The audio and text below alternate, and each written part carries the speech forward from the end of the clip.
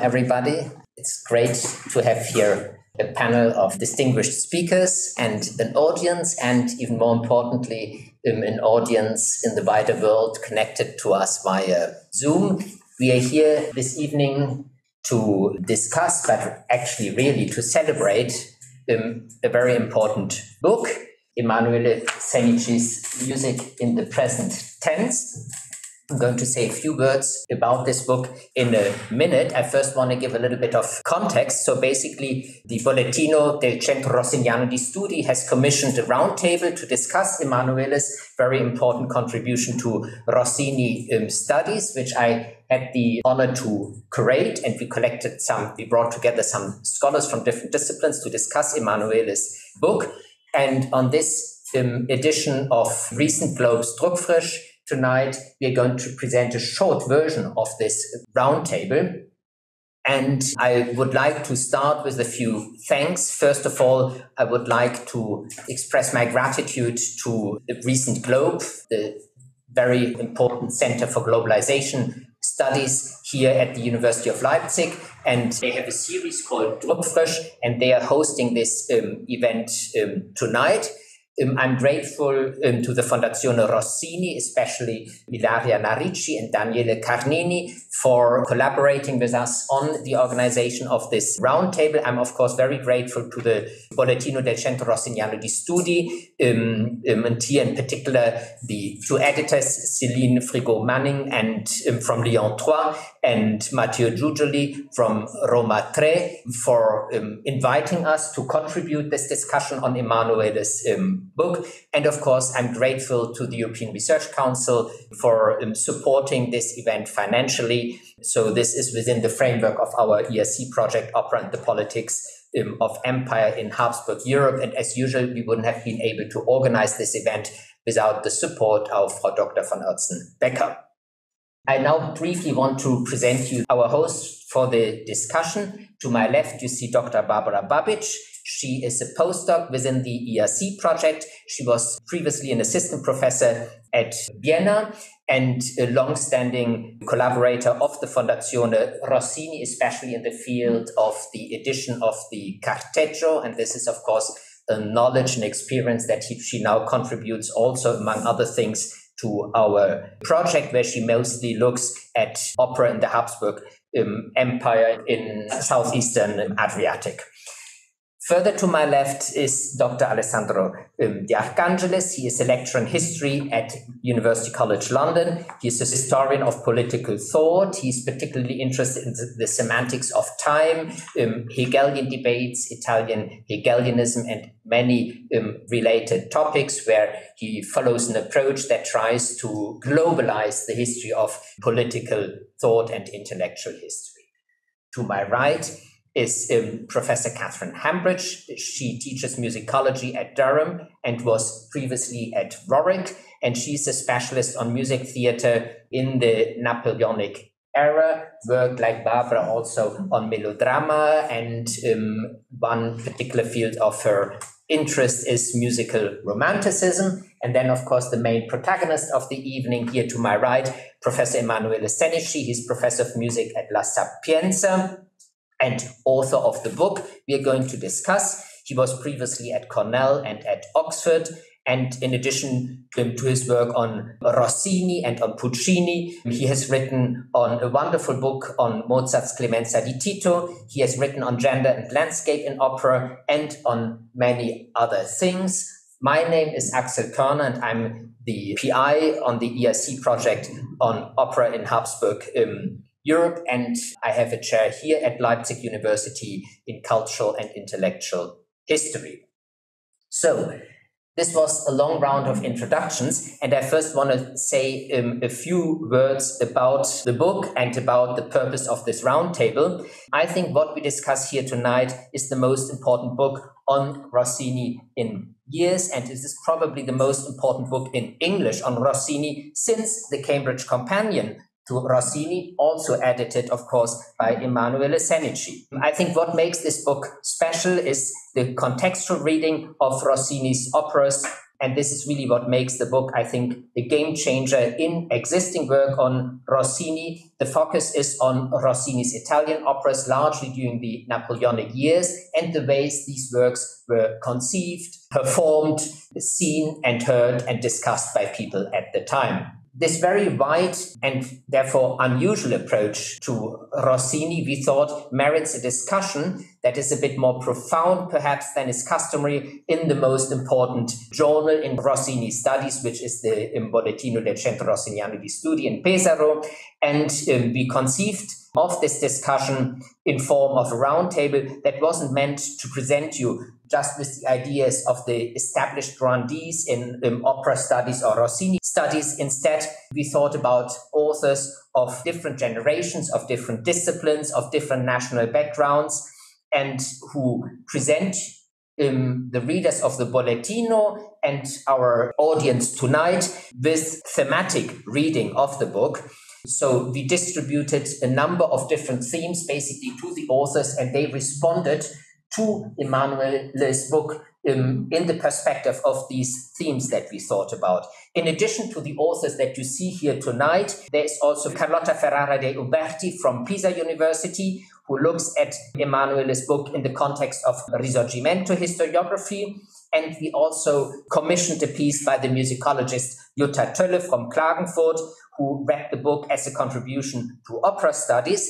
Barbara Babic read Emanuele's book in the context of Rossini biography, how the topic of Rossini biography has been approached in recent decades. Alessandro thinks about the book as a contribution to thoughts on the semantics of historical time. So picking up on a theme that before Emanuele also um, Benjamin Walton had already um, thought about it. So modernity and Rossini studies Katherine read the book in the context of what it can tell us about the Napoleonic period and the context of music in the Napoleonic um, period. And I looked at Emanuele's book more from a perspective of Italian studies and what it tells us about how Europeans and Italians discussed Italy's so called otherness. In what follows now, the um, authors of the roundtable who wrote these different contributions will present here a short version of the papers that they produced for the Bollettino.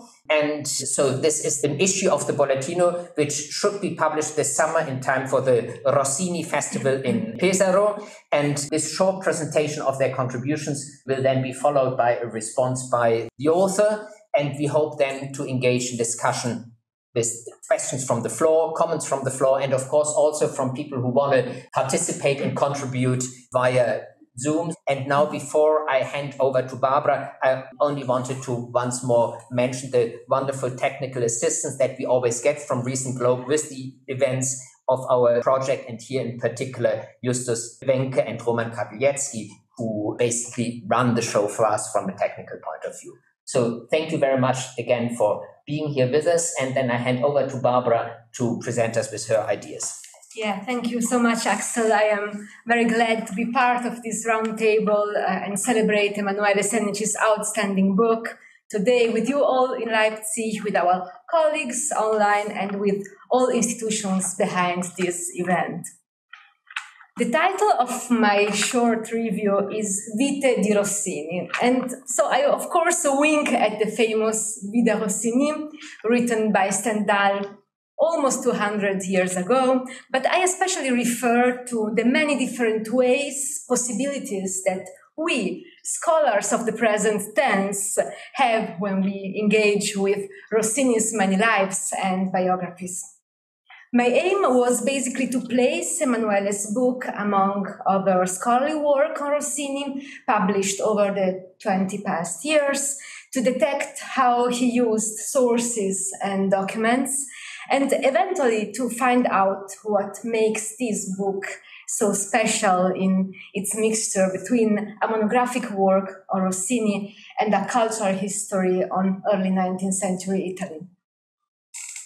As we all know, and especially here in Leipzig, Rossini has spent much time abroad recently.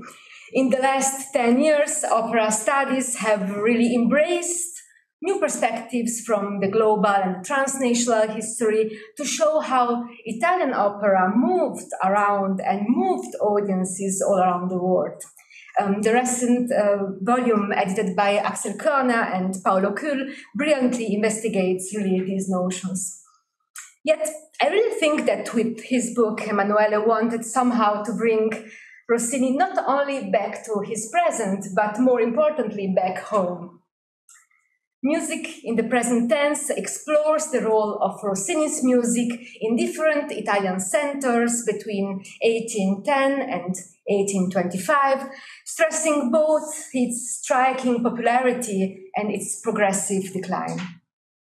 His contribution covers the years just before Benjamin Walton's Rossini Restoration Paris, and these words really nicely resonate together. In fact, both scholars explore similar categories such as modernity, noise, style, memory, and so on.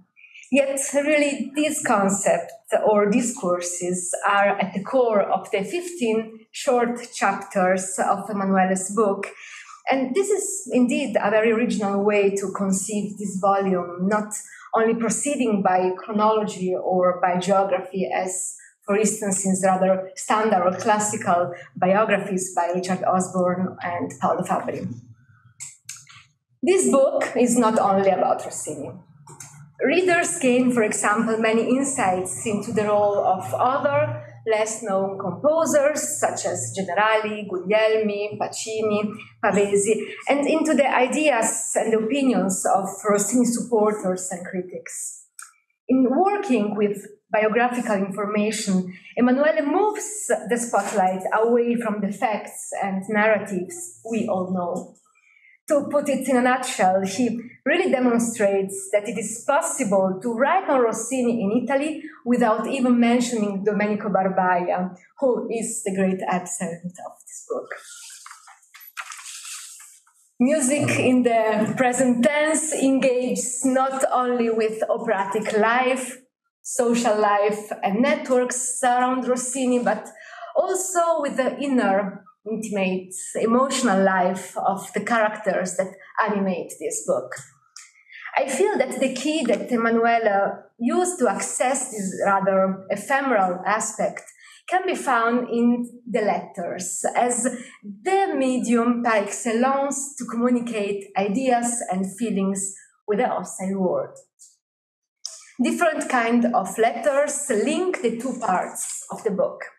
We find Rossini's own letters that surprisingly reveal less information on the composer's intentions. We have the Lettere Manifesto by Giuseppe Carpani as passionate endorsement, love declaration to Rossini. The letters published uh, in the press, in the case uh, by Pietro Guglielmi in Milan, but more importantly, the writings by Giacomo Leopardi and Ugo Foscolo. Indeed, his Le ultime lettere di Jacopo Ortis reinforces to us the sense of the mood and the inner life of people who went through the trauma of the Napoleonic Wars, who experienced the shock of the arrival of the modernity, the feeling of being disconnected with the reality, and reflected on how to perform in a new time somehow dealing with lives in this era means also speaking about death and rebirth of a whole European generation. And it's especially moving uh, and thought provoking to read about this sense of, I quote, feeling trapped in the present, given our current times of struggle because of the overwhelming global events we experienced in the past two years and nowadays. So, to paraphrase Emanuele, the book speaks about those lives back then, but also in a certain way about us and our time. And it explores different reasons that bring us to move on in times of crisis and choose the theater as a space of human experience. Beyond entertainment, Rossini's opera emerges as being sometimes the path towards healing, or what Freud would call a moment of compromise formation where opposite elements, uh, fear and freedom, desire and defense, are acted out. So, to conclude, by tracing Rossini's life from the theatrical birth to his, project, Uh, I'm sorry, to his progressive death from stage, Emanuele has shown us a new way of looking at the common refrains that have been chasing Rossini's lives for so long by sometime putting discourses upside down. Just to mention a few keywords of the book, repetition can be original and therapeutical, and the inner silence can be sometimes loud as noise. Thank you.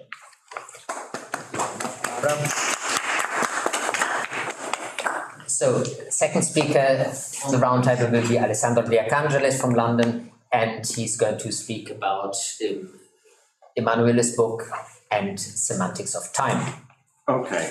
Thank you, Axel, um, for your kind invite, for your introduction, and thank you, Barbara, for touching upon some really interesting topics, which I'm very, very happy to be able to expand on.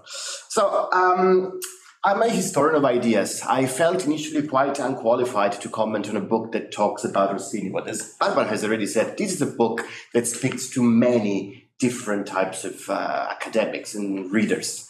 Um, and as an intellectual historian, I did find plenty of truly thought provoking intuitions within this book. And this is what I would like to um, tell you a little bit about. So, even though this is a book that's conceived as a monograph on Rossini's operas, Music in the Present Tense felt above all like a masterclass on how to disrupt some deeply rooted teleological assumptions that still today underpin our historical understanding of the intellectual history of the Risorgimento. So central to the book is the thesis that um, um, Rossini's operas reflected Italians' deeply traumatic encounter with modernity. So, according to the author, uh, the arrival of Napoleon's armies in 1796 ushered in two decades of unprecedented and near constant political, economic, social, and cultural changes, which f- found Italians wholly unprepared. So these traumatic experiences resulted in new perceptions of space and time, of history and geography, rapidly shifting political borders, a sudden break with the Italian state's past, coupled with the impossibility of imagining a bright future under the current circumstances, meant that life became restricted to the present. To quote the author, as if the present were the only temporal dimension available to human subjects. So, against this background, music in the present tense shows how, like many of their European peers, Italians resorted to alternative and non literary forms of expression uh, and platforms to sublimate their deeply turbulent meeting with modernity. So, spectacles, public promenading, religious ceremonies, and theatrical entertainment. So, in this context, the heightened theatricality that permeates Rossini's operas is best understood as a response to a world that felt trapped in the present and as evidence of Italians' inability to work through the trauma of modernity. I feel like the trauma was a concept that we've already touched upon. So, in this book, Emanuele embraces a markedly Koselleckian perspective, and I found this truly uh, intriguing, and I think that we need more historians that do this type of work. So, a truly Koselleckian perspective in regarding crisis as a structural signature of Italian modernity. And yet, while the German historian characterized crisis as historical time accelerating and spiraling out of control, music in the present tense emphasizes what one might call a drastic deceleration of historical time.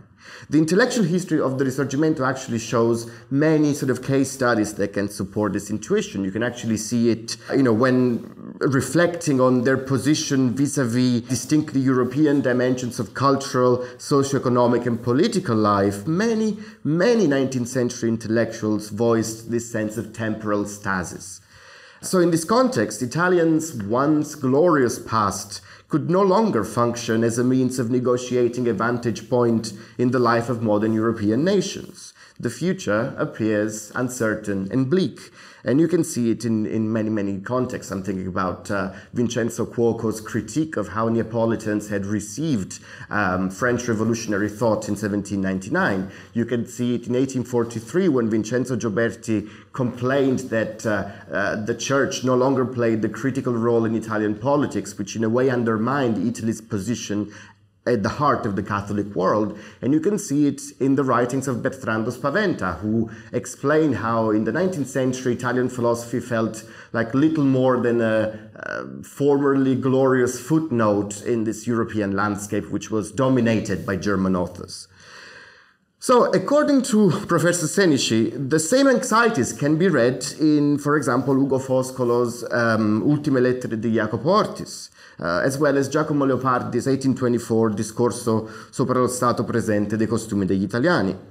Uh, the former, the author claims, voiced the true malaise of modernity that originated in the aftermath of the French Revolution and placed particular emphasis on the fall of the Venetian Republic. Um, Foscolo's epistolary novel documented a radical crisis that was caused by the loss of faith in revolutionary utopias and the ensuing psychological and emotional trauma. Similarly, Leopardi's discorso, uh, discorso reflected on Italians' encounter with modernity and identified the lack of a cohesive public opinion and of solid moral foundations as the source of, quote, uh, indifference, cynicism, and contempt for everybody and everything that made 19th century Italy the land of nothingness, of meaninglessness, and of death. So, viewed from this perspective, I found this book to be a thought provoking intervention in critical debates in Italian political thought. By portraying Rossini as a composer who soundtracked the troubled ways in which Italians navigated their jarring experience of historical time, um, faced this sort of temporal rupture with the past, and in, in a way exorcised their anxieties about the future Music as the present tense functions as the conceptual antithesis to those age old narratives that construct Italian's quest for modernity as a panegyric of the realization of the nation state and as growing out of particular dialectics of state and civil society. And of course, I'm referring to those uh, interpretations that begin with Croce and Gentile, ideas of how much liberty does the modern state grant us or how much liberty does the modern state curtail? So the two left sort of liberal and uh, conservative interpretations of Hegel, of course. Um, so a focus on, thanks to its focus on temporal change and shifting historical semantics, uh, music in the present tense, especially in the second half, is able to take issue with these perspectives and to point at their inability to capture the disruptive and traumatic effects of modernity in 19th century Italy. So as they anchor, on the one hand, the modern historical experience within the paradigm of the Italian nation state, and posit, on the other, a direct continuity between the temporal regimes of the Renaissance, of course, Machiavelli's political ideas, and the Risorgimento, these traditional verdicts are blind to the extent to which uh, Italians encountered with modernity ushered in truly dramatic shifts in their conceptions of space and time, rendering them unknowable dimensions for a subject who had lost, to use the author's own words, all notions of itself as a separate and unified entity. So it is therefore as a means of overcoming these deficiencies stemming from teleological interpretations of Italian history that thinking of modernity in terms of a radical fracture rather than continuity between past and future may be, my view, useful and illuminating. In the author's own words, it seems more appropriate to speak of a historical rupture rather than juncture. So I'm coming to the end of my brief talk here.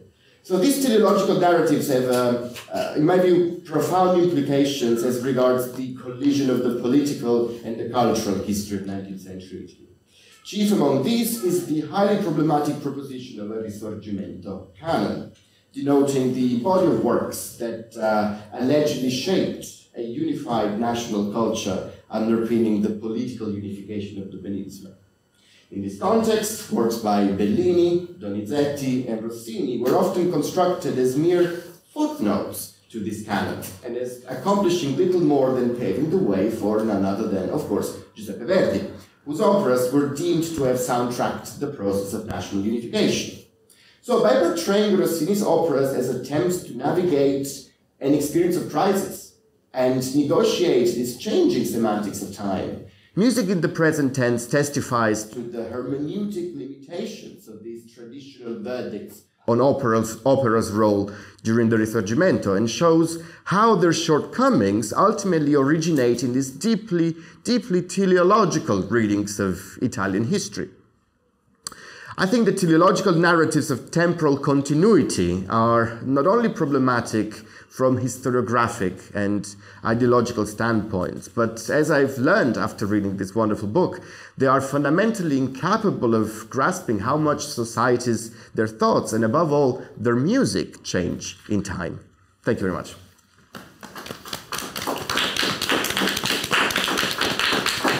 Grazie, Alessandro. Then our next speaker will be Katherine Hambridge, who read Emanuele's book in the context of Napoleonic Europe. Thank you. I'd like to add my thanks um, to those already expressed, to the organisers here, Axel in particular, and to Emanuele um, for giving us the fodder uh, for this session. Um, I am inspired by Emanuele's evocative one word chapter titles to choose two words on which I'm going to muse.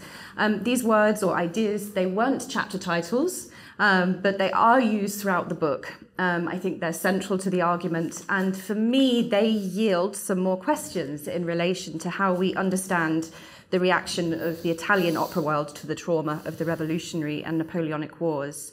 And I should say that my musings absolutely reflect my biases as a scholar of French and German music theatre, so I hope you can excuse that. My words are escape and spectacle, and I'll start with escape. Musicologists have most commonly explored escapist responses to revolutionary and Napoleonic trauma in German Romanticism, of course, in a sense of retreat from the inexplicable present into the past into the ideal, into the natural, into the supernatural. We read in this wonderful book that Italians instead escaped into theatricality, with Rossini's operas acting as a shield that could temporarily separate Italians from reality.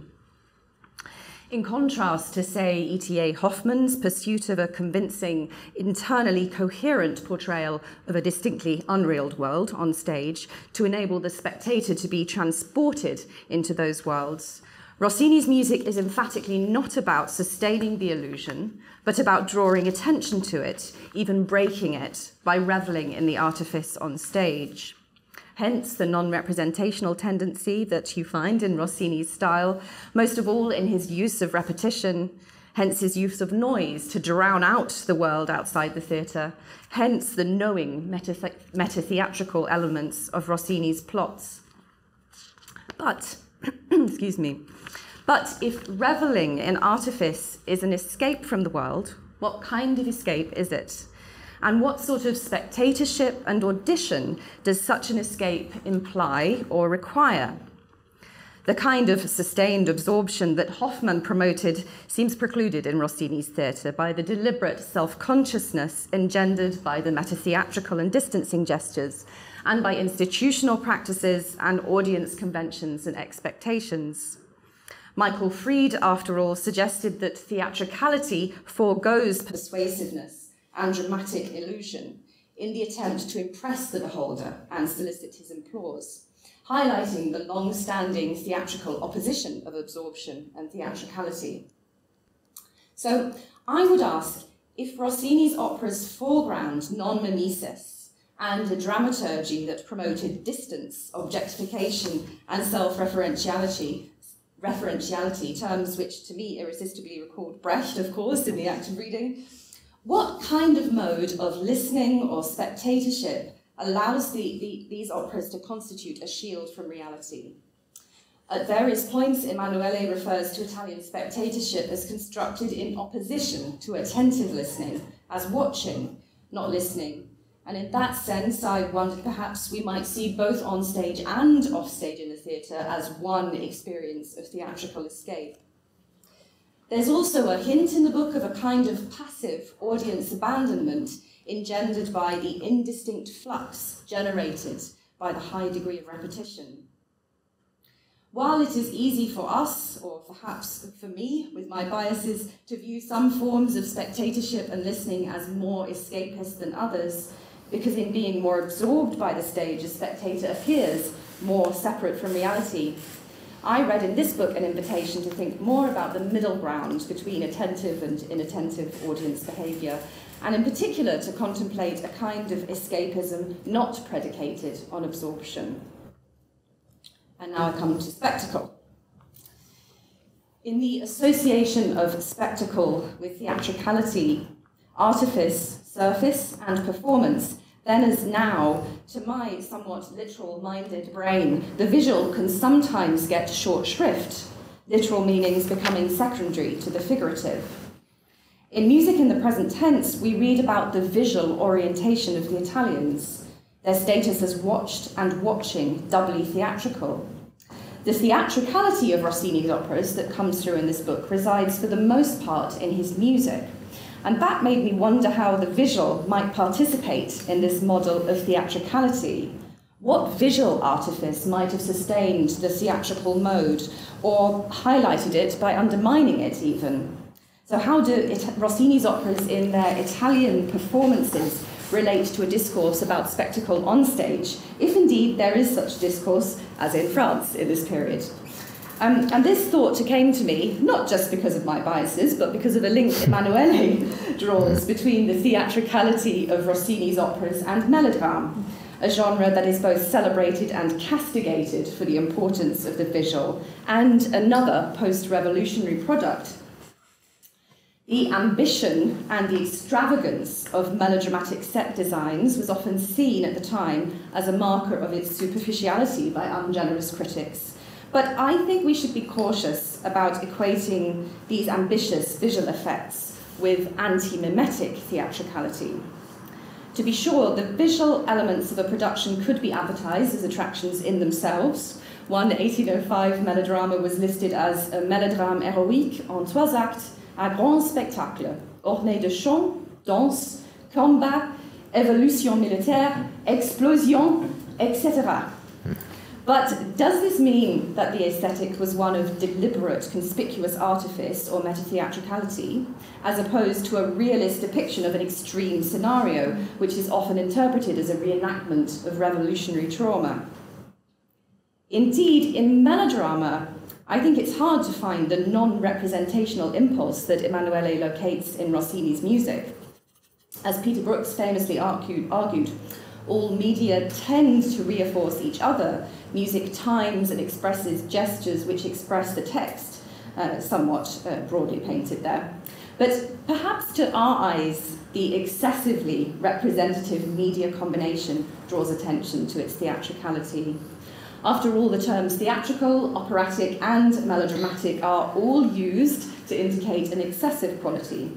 But the excessively mimetic is not necessarily a disavowal of representation. And the issues raised by melodrama, melodrama even, or melodrama, could usefully be transferred back to Rossini, I think. What was the multimedia aesthetic in those early performances of Rossini? and how can it relate to the artifice or theatricality that Emanuele detects in the music? When the music was repeated, for example, were movements repeated, the bodies or scenery mechanized by the music? You can see my literal mind working here. Was the scenery representational? And if so, how might that have modified the music's artificial quality? Attending to performance practices and to the literal spectacle of the visual on stage, in other words, might yield additional insights into how Rossini's operas provided an escape from or reenactment of the traumas of post revolutionary Europe.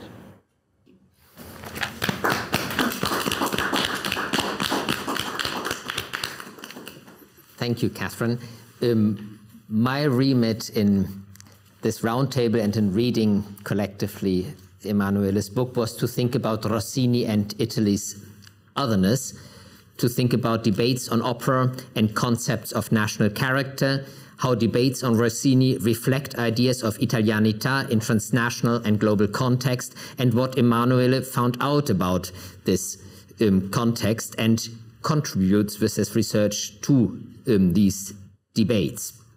And I have to admit that my reading of Emanuele's book in that moment when it came out was a little bit shaped also by the work we did at the time in the Reimagining Italianità um, project.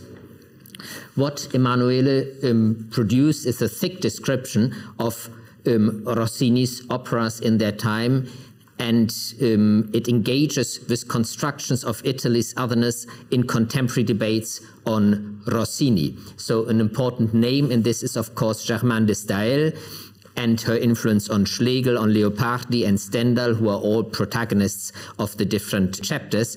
Stendhal being particularly interesting as one of Rossini's early biographers, but at the same time interesting because he had such a very different take on the Napoleonic experience compared to Germaine de Stael. Senici places his book in this tradition of foreign readings of Italian national character, emphasizing the orientalizing nature of this practice. And as usually, every word I pronounce on Emanuele's work is always a declaration of stima and love. I thought on that on this occasion I presented slightly more critical reflection on interpretations that insist on the orientalizing nature of works such, such as um, Madame de Stael's Corinne or her writings on literature, to which Emanuele then refers in his analysis. Similar to authors including Roberto Dainotto and Silvana Patriarca, Emanuele insists on the orientalizing nature of de Stael's idea of Italians, which in the case of Leopardi, he then sees being internalized.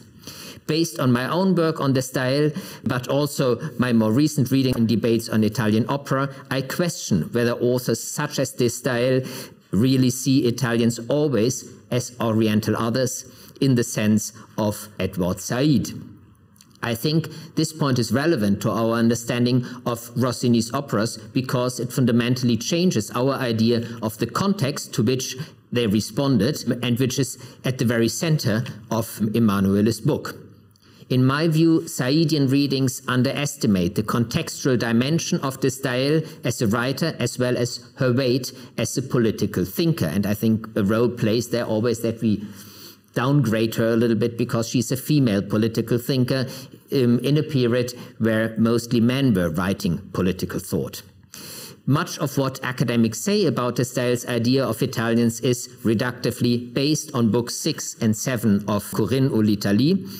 Emanuele's book is also a book on Napoleonic Italy.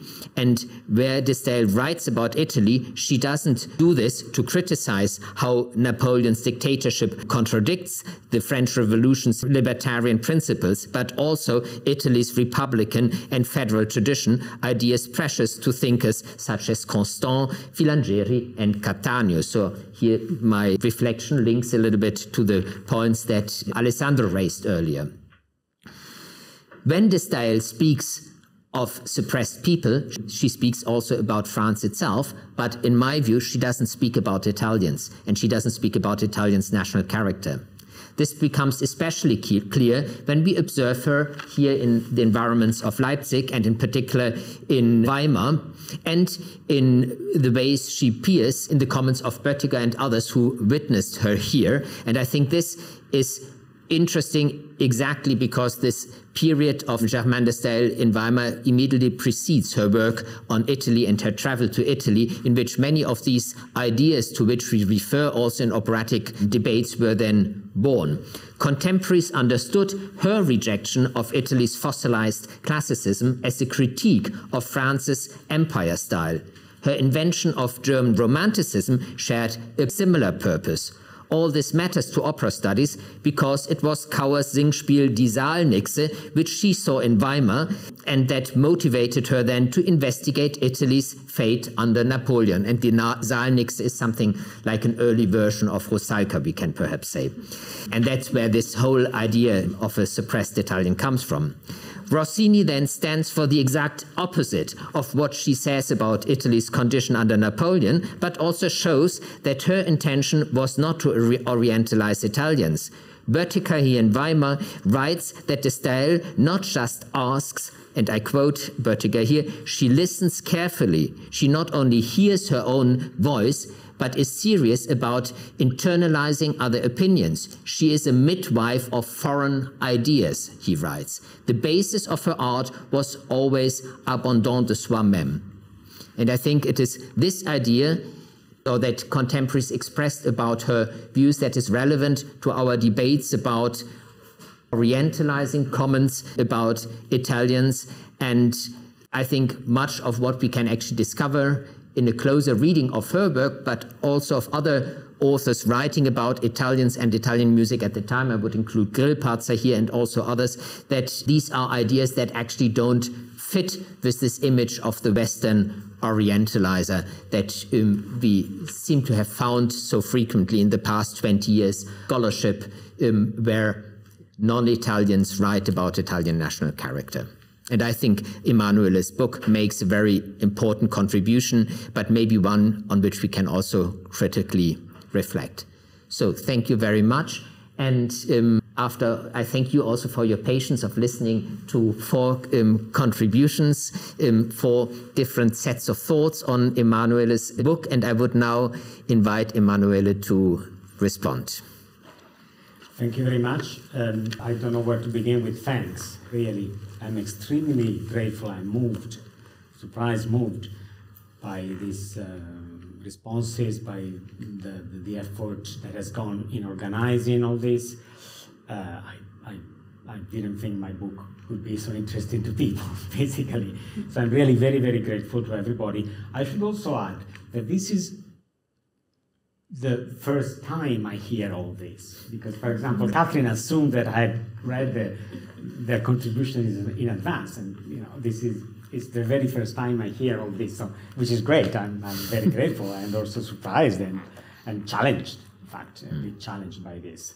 So uh, whatever I have to say now is uh, sort of very provisional. It's what first comes to mind about your wonderful suggestions and contributions. So I'll start briefly with Barbara Babic's um, um, contributions about Rossini's life. It's interesting what you say about me wanting to bring, bring Rossini back home. In reality, he never left. We never left.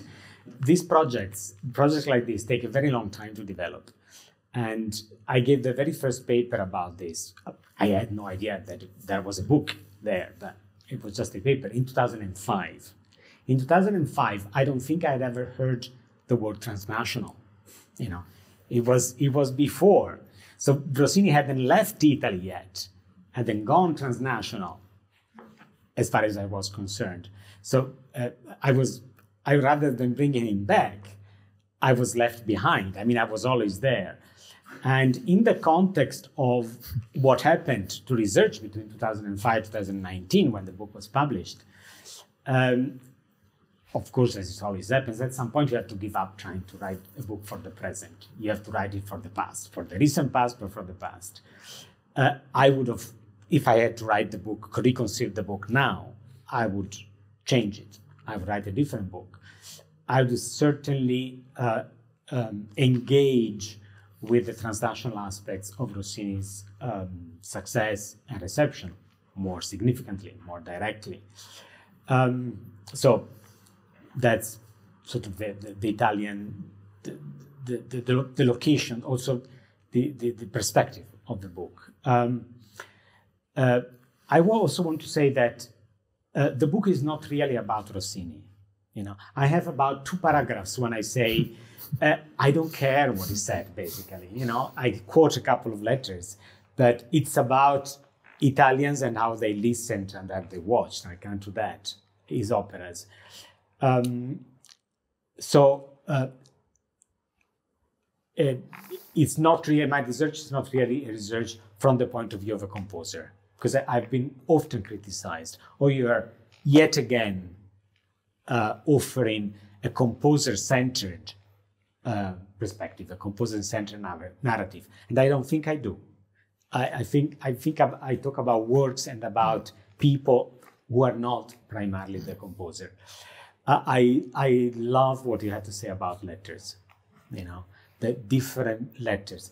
and it's worth.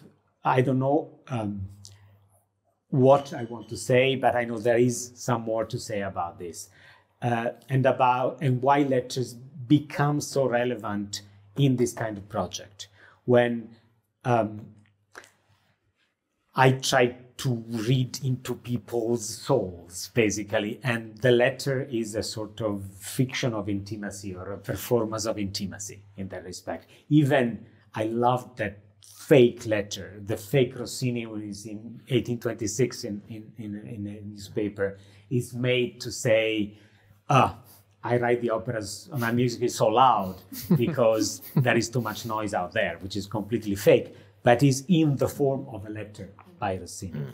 Is the is the fantasy that you can get to what people really think, really feel what the young think. That the letter is, is, is so interesting about.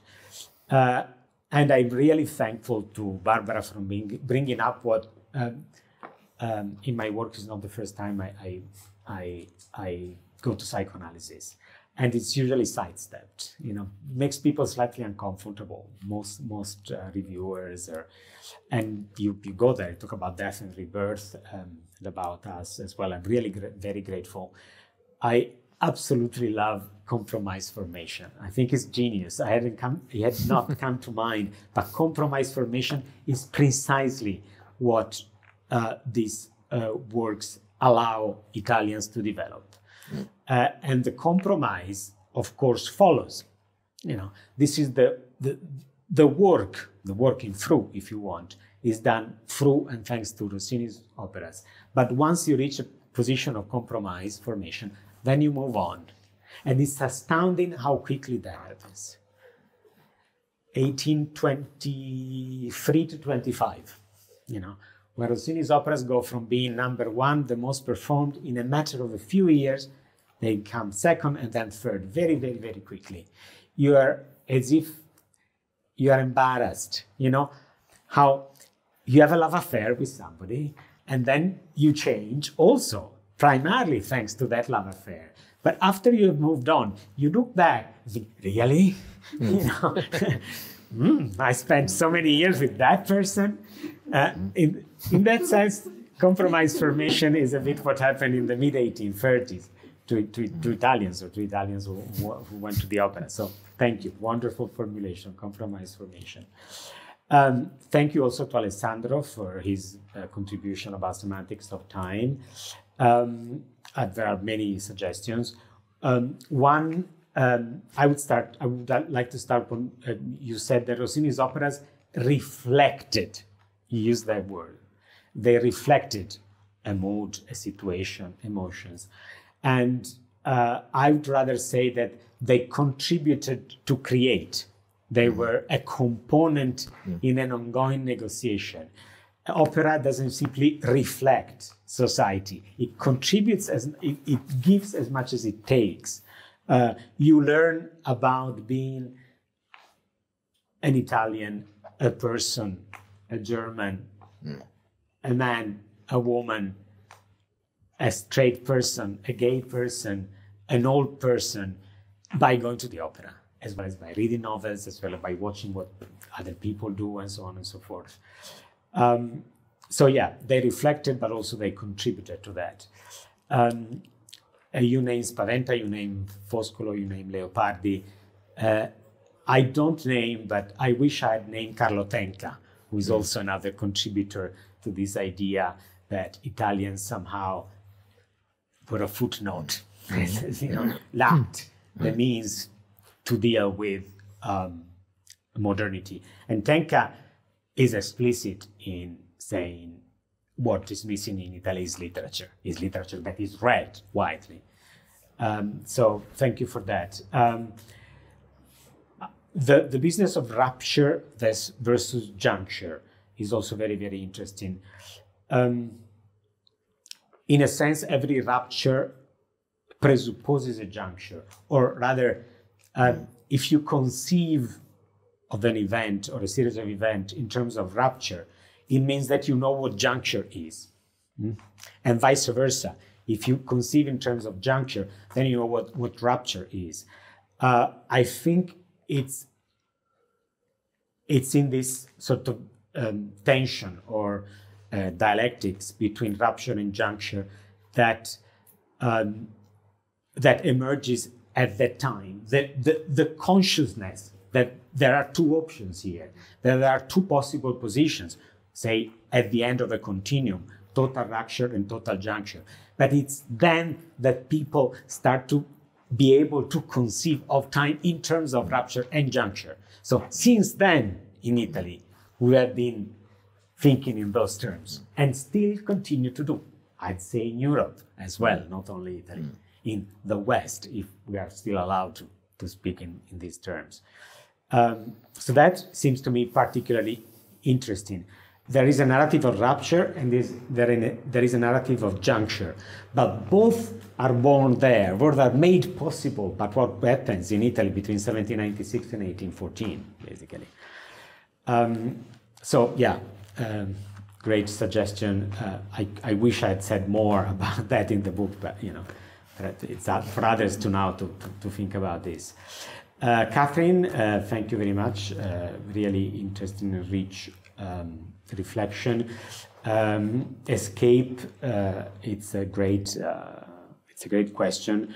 Um, which kind of spectatorship and which kind, which kind of audition?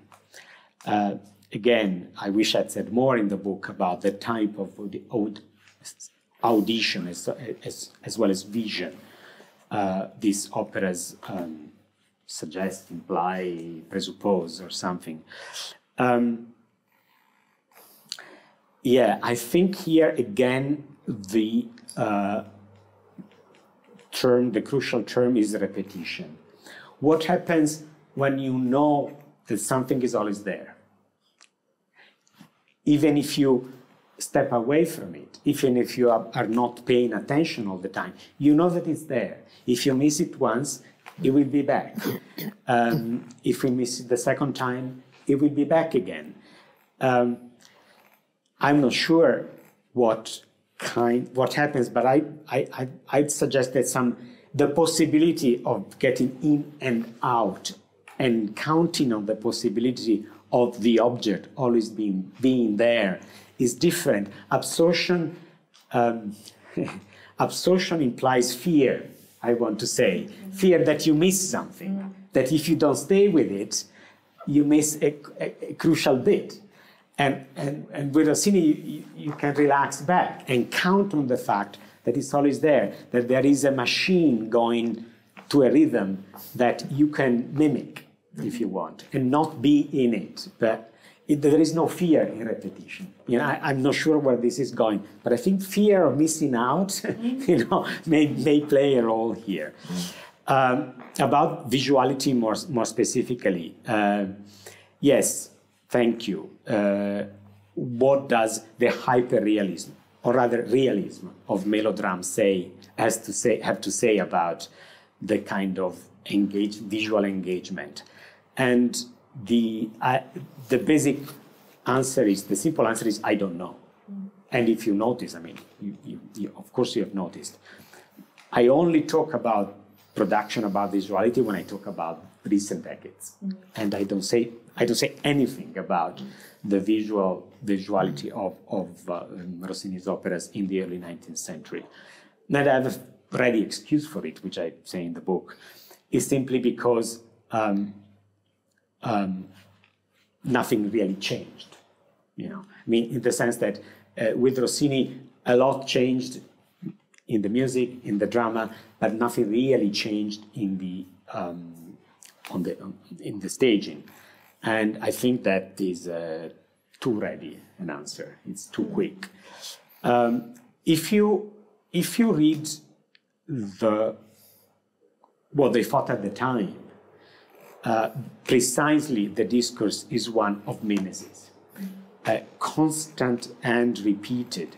Uh, what the uh, stage designers went for was authenticity, was realism, was uh, absorption was you are not only supposed to marvel at what you say and say, oh, how beautiful, but rather you feel the emotions also thanks to the very realistic, very precise staging. Uh, so, which would seem to counter my argument completely. Um, except that then I think uh, uh, this goes back to my short trouser to the youth as a musicologist here. That uh, when, say, operas staged in the classical in classical times were performed at La Scala, you recognize in the stage designs elements from the very, from the theater, from the auditorium, as in trying to create a kind of continuity. You know, the same type of columns that you see in the Rossini March at La Scala, you see reproduced on stage as well.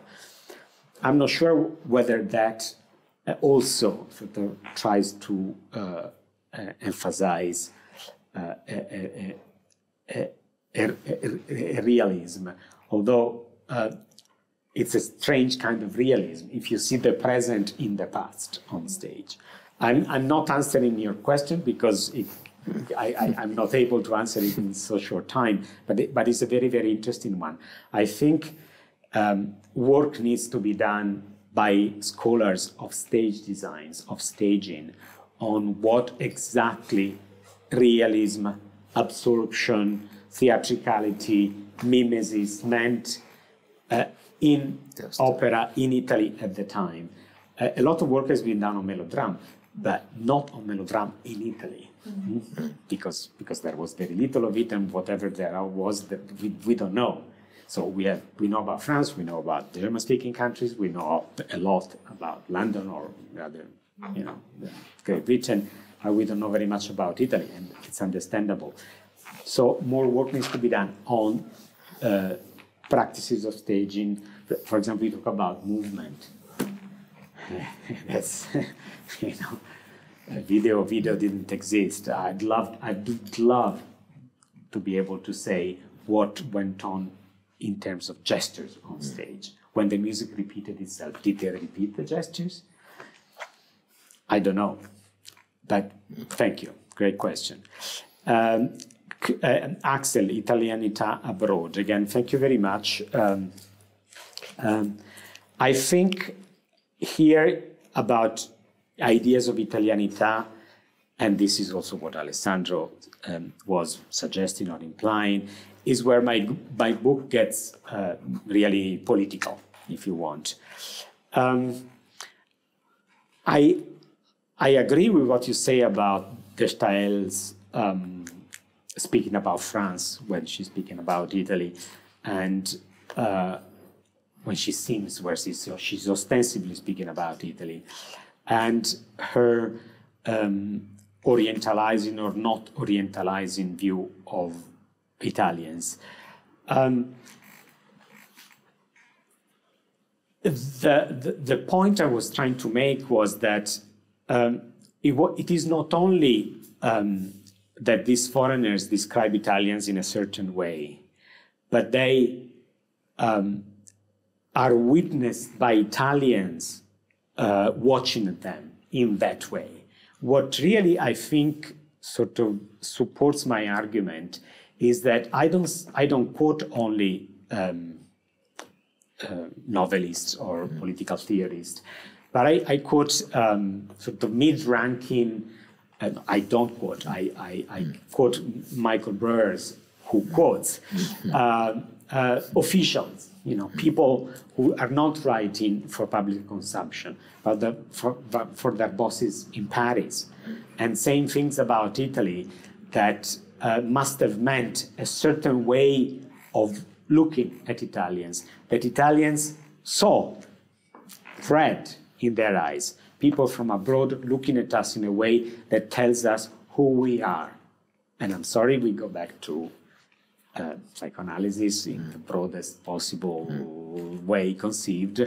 We learn who we are by seeing what, what we see in other people looking at us, by understanding what other people do when they think or feel when they look at us. And that is where I think um, it, it, where, where my argument sort of hinges.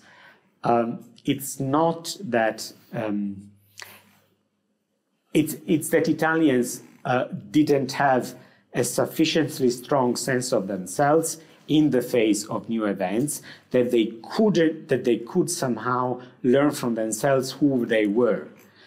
It was this work of uh, seeing themselves in somebody else's eyes, looking at us, let me say us, and being seen, watching.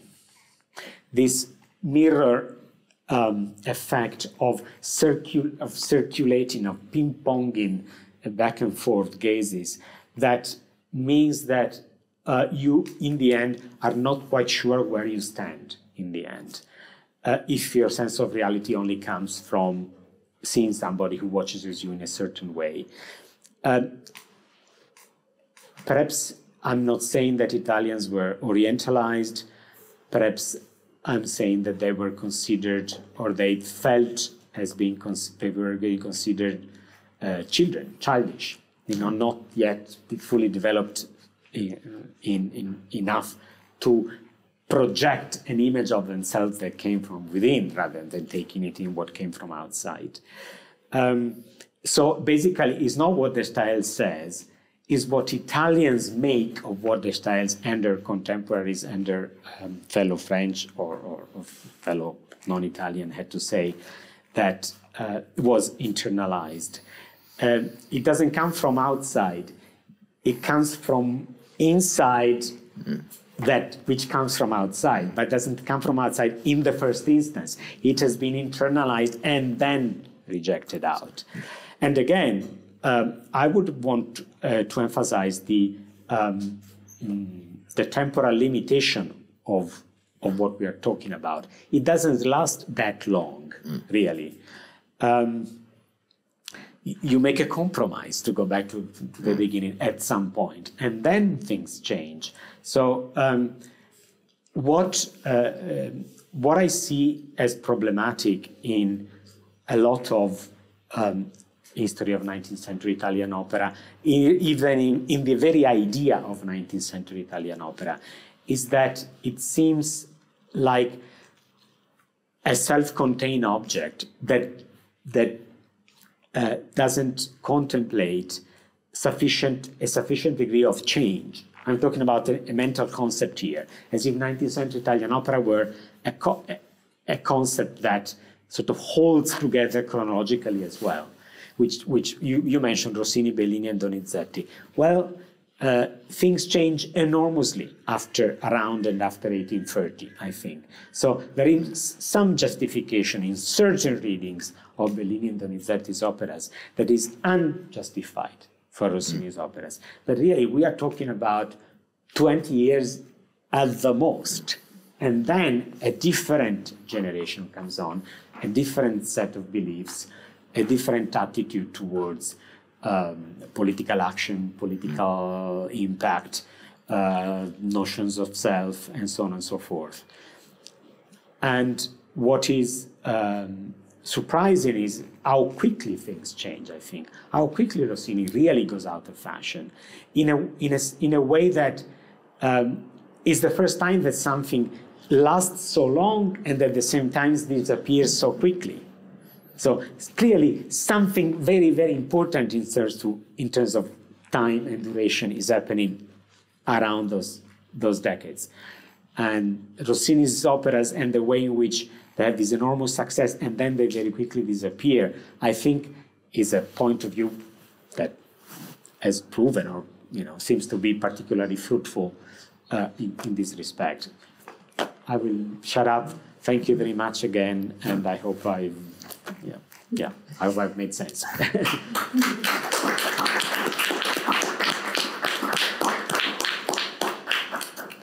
Emanuele, thank you for engaging so closely with our thoughts, our ideas about your uh, book. It would be wonderful if we could now do another round where we respond to your comment on our comments, but um, we want to be more democratic than that and would like to open for questions from the floor. And also, I really encourage people in the wider audience outside Leipzig to come in with comments, questions, their thoughts about what we try to produce with this round table. Um, yes, just just as a bit of filler, I was I was thinking about your response to my response, and it was making me think about Susan Rutherford's work on Giuditta Pasta and her style of coordinating movement with music. And of course, she started that with Rossini and then transferred it to Bellini, and, and then the shift between her performance style and, and Malibran's. And yeah, I mean, I was. Uh, it's not a question. It was just, you know, a, a follow-on that, yeah, some of this, some of this work has started, and that actually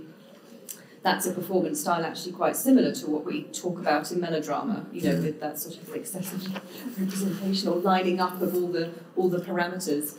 Um, yeah, so that was just a, a further mm. contribution. Mm. Yeah, it's interesting that you bring that up because it somehow um, lines up in a way with my suggestion that in and out mm. is the kind of engagement you can have.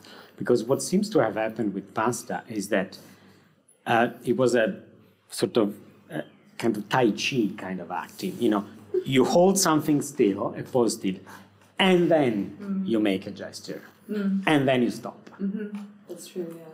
And then again, you make it well, a, a, yeah. a, very impactful uh, gesture, which is impactful precisely because you haven't moved for yeah. a while. Mm. And uh, what do you do in between yeah. gestures? Uh, how you fill the time? Do you stand still?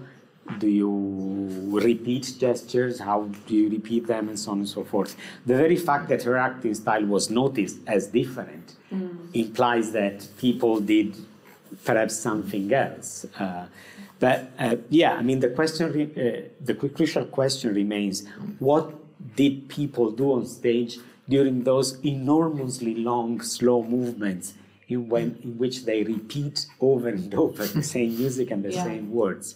Did they stand still? Was it the equivalent of a melodramatic tableau?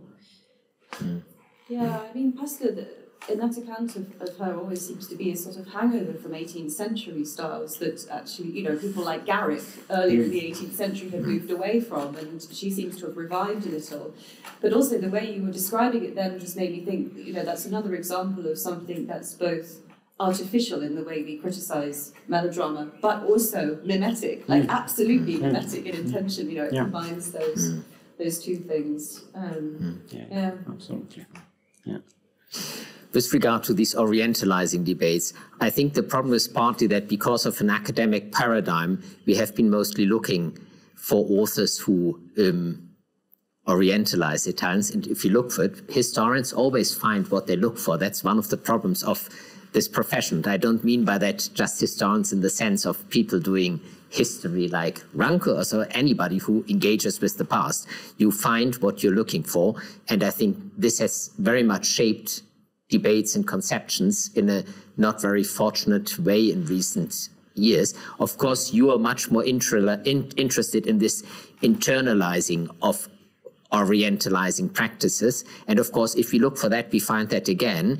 Um, but um, I have to say, in a lot of work that I did about how Italians engage with the wider world, I found also um, many Italians who did not internalize the orientalizing of themselves by others. And I don't know, these this this way, for instance, to pick up just one example, which I studied for a while, is um, the engagement with the new world um, in Italy, it was not this moment of blind admiration of everything that, hap- that, that happened there only because we are so inferior and we have been told um, that we are inferior. Very often, I find actually very self consciously acting um, Italians who can engage with something like that, but not in the way, oh, we should be like them. And um, this would be the way to overcome our problems and so on. And I think we have been shaped a bit too much by um, a debate that has picked up this paradigm. And I wonder also why we are so um, so, de so dependent on doing this orientalizing thing with Italians. I, I wonder if it doesn't if it doesn't say more about us as a generation or two or three generations by now of scholars, um, because we could do this also. You probably, if you found um, these debates about the French and France after the defeat of Napoleon or after the defeat, defeat of Napoleon III, we could probably construct a very similar paradigm, but we are not doing that. And with Italians, we always return to that argument. I think we have to move on from that. That's my criticism of the scholarship of Dainotto. And in a way, probably your work that you have now done on the way how Italians engage with Rossini shows that actually something much more interesting is happening in Italy in these Napoleonic years um, as well. That goes beyond this pattern that we have come that we have become accustomed to so much.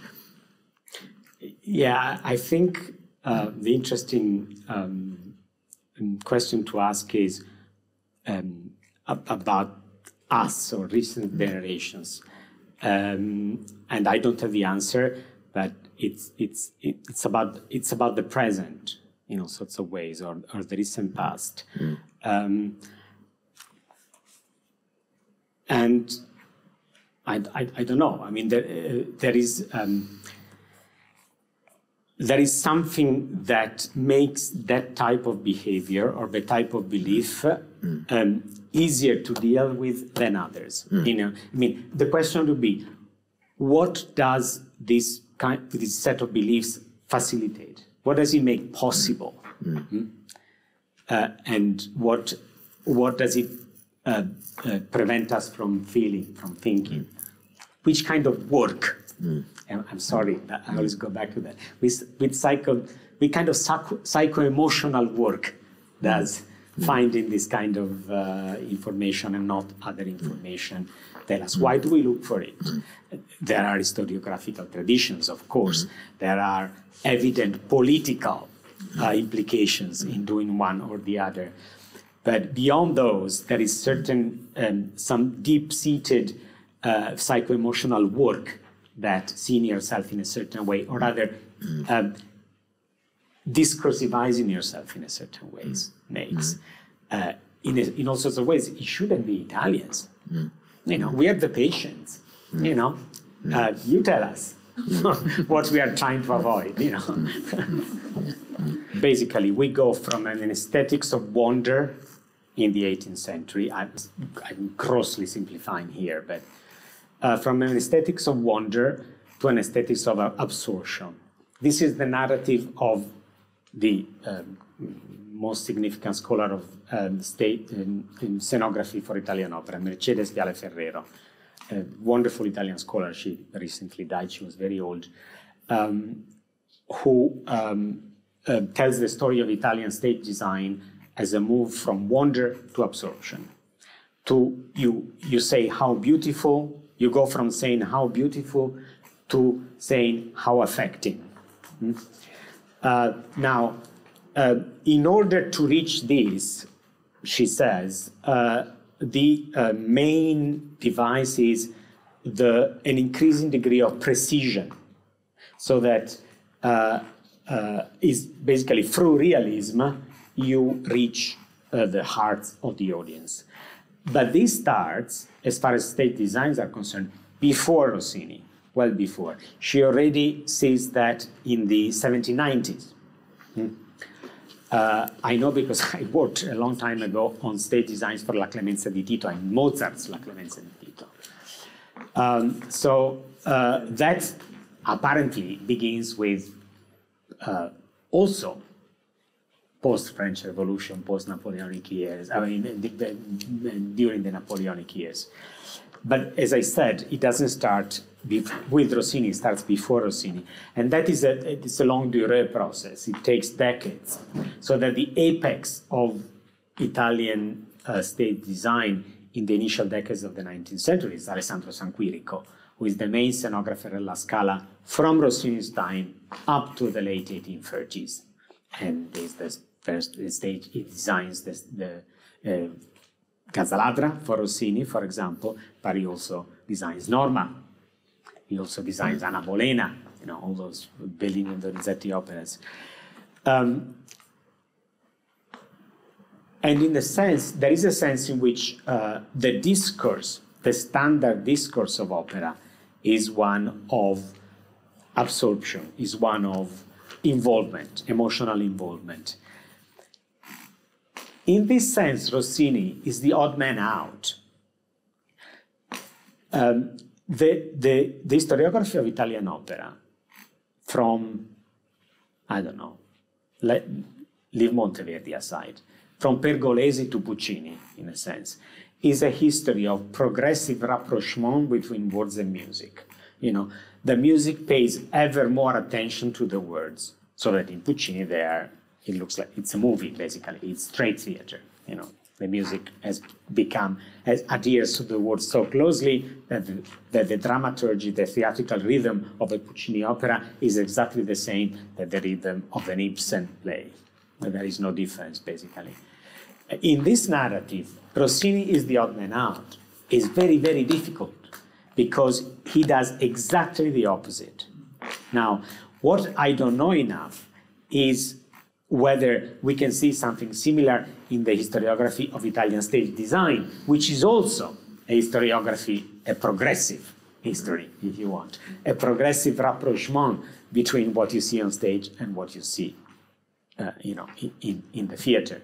I don't know enough to see to say whether at some point corresponding with Rossini's uh, career there are um, pushes towards a distanciation.